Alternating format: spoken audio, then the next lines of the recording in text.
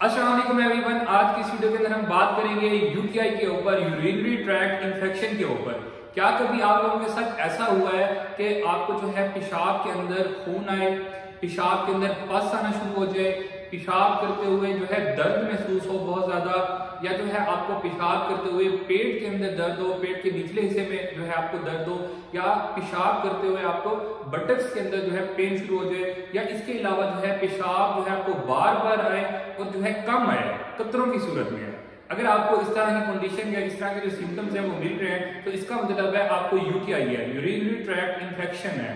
UTI का मतलब ये होता है कि आपको जो, आपका जो पेशाब का जो सिस्टम है, जो हमारा जो यूरिनरी सिस्टम है, ठीक है, उसके अंदर इन्फेक्शन हो गया बैक्टीरियल इन्फेक्शन हो गया।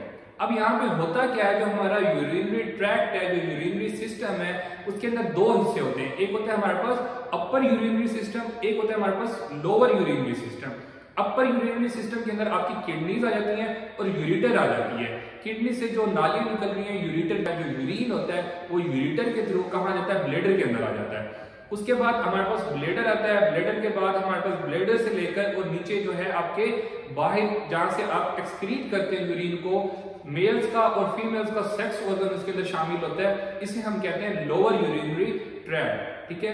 अपर के अंदर आपकी किडनी और यूरिटर आते हैं और लोअर के अंदर ब्लेडर और ब्लेडर से यूरेथ्रा और फिर उसके बाद हमारे पास जो इजैकुलेशन के लिए जो आपका स्फिंक्चर होते हैं और जो आउटलेट होता है बाहर का, वो आ जाता है।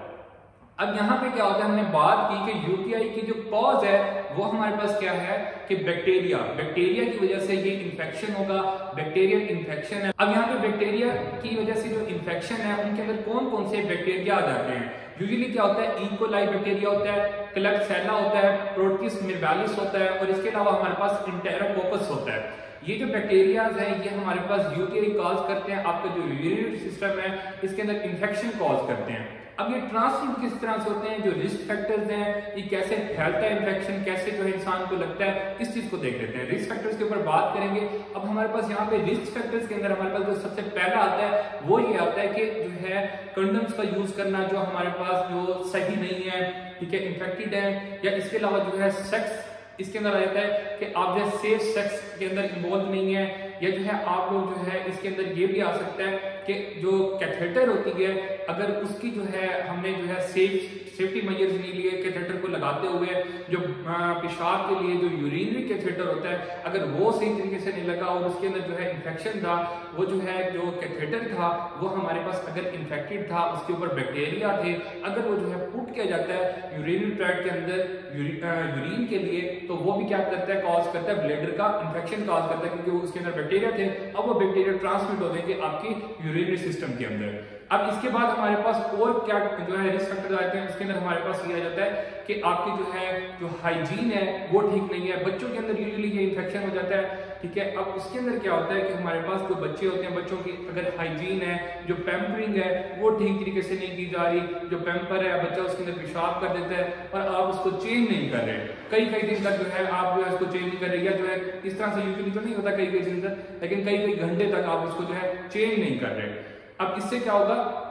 जो इन्फेक्शन है या जो बैक्टीरिया है, वो हमारे पास ट्रांसमिट हो जाएगा। इसके अलावा हमारे पास क्या आता है? इसके अलावा जो रिस्क फैक्टर्स हैं उनके अंदर हमारे पास जो किड्स हैं उनके अंदर ये हो सकता है कि सेक्सुअली अब्यूज हो रहा हो। अगर जो, आपका बच्चा है आपको नहीं पता तो उसके अंदर ये भी आ सकता है। तो अब इसके अंदर हम ये भी बात करेंगे आगे चल के कि हमारे पास जो अब्यूजर्स होते हैं या जो हमारे पास जो ऑफेंडर है उसको जो है हमें अपने बच्चों को कैसे जो है बताना है कि वो अपने ऑफेंडर से कैसे बचें या हमें अपने जो बच्चों का ख्याल है वो किस तरीके से रखना है कि हमारे जो बच्चे हैं वो इस इन्फेक्शन से बचे रहें और साथ साथ क्या है कि हम उनके ऊपर नज़र रखेंगे कि हमारे बच्चे को कोई जो है इस तरह से तंग तो नहीं कर रहा।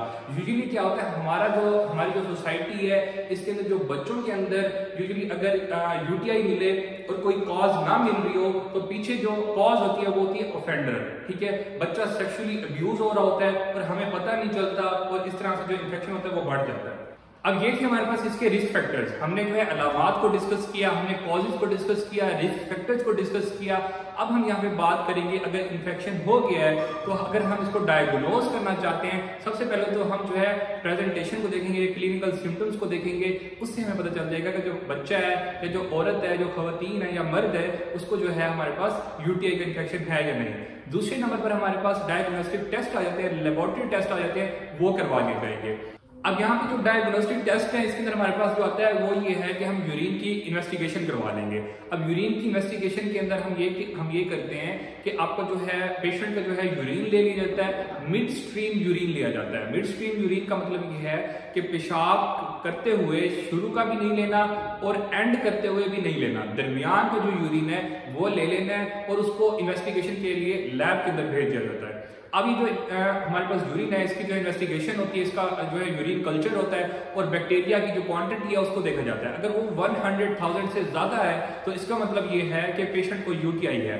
अब इसके बाद हम ये देख लेते हैं कि जो दीगर हमारे पास और टेस्ट आते हैं, वो कौन कौन से हैं? हम किडनी स्टोन के लिए जो है, हम किडनी स्टोन्स को देखने के लिए हम एक्सरे करवा लेंगे, सीटी स्कैन करवा लेंगे, ये करवा लिया जाता है। यूजली क्या होता है, अगर वहाँ पे जो है आपका जो आउटफ्लो है, यूरिन का जो आउटफ्लो है, उसके अंदर अगर जो है कोई जो है हमारे पास ब्लॉकेज आ रहा है तो उसकी वजह से भी यूरिन का जो है हमारे पास इंफ्लेमेशन हो सकती है, यूरिन ट्रैक के अंदर इंफ्लेमेशन हो सकती है और यूटीआई हो सकता है। तो हम वो भी करवा सकते हैं इसके अंदर। अब ये थे हमारे पास डायग्नोस्टिक टेस्ट अब इसके बाद हमारे पास एक इंपॉर्टेंट नोट है इस टॉपिक के ऊपर. वो ये है कि ये हमारे पास जो डिज़ीज़ है, ये कंडीशन है, ये मेल्स के अंदर कम होती है, बनस्बत फीमेल्स के. फीमेल्स के अंदर ज़्यादा होने के जो चांसेस हैं, वो इसलिए होते हैं जो फीमेल्स की जो यूरेथ्रा है, वो हमारे पास, उसका जो साइज़ है, वो कम है. एक तो? दूसरा ये है कि वो स्ट्रेट है. तो इन्फेक्शन जो है ट्रांसमिट होने के जो चांसेस होते हैं, वो ग्रेटर होते हैं. मेल्स के अंदर जो इसके चांसेस हैं, वो जो है कम होते हैं और जो है मेल्स के अंदर ये ज़्यादातर जो इन्फेक्शन है, वो कम ही रहता है बूढ़े लोगों के अंदर देखने को मिलता है, अगर इसके अंदर हमारे पास ये हो कि पेशेंट जो है हॉस्पिटलाइजेशन के अंदर हो, उसको कैथेटर लगाओ यूरिनरी कैथेटर लगाओ तो उसके अंदर जो है मेल्स के अंदर भी ये जो है ओल्ड एज के पेशेंट्स के अंदर देखने को मिलता है Inshallah in next video, we will talk about the treatment of UTI. Next video के अंदर हम इंशाल्लाह यूरिनरी ट्रैक इन्फेक्शन का, पेशाब में पस आने का, पेशाब में स्मेल का और अगर बबल्स हैं फॉमी यूरिन है तो उसका हम ट्रीटमेंट प्लान देखेंगे। थैंक यू सो मच अगर आप लोगों ने हमारा चैनल सब्सक्राइब नहीं किया तो चैनल सब्सक्राइब कर लें वीडियो को लाइक कर लें और शेयर कर लें।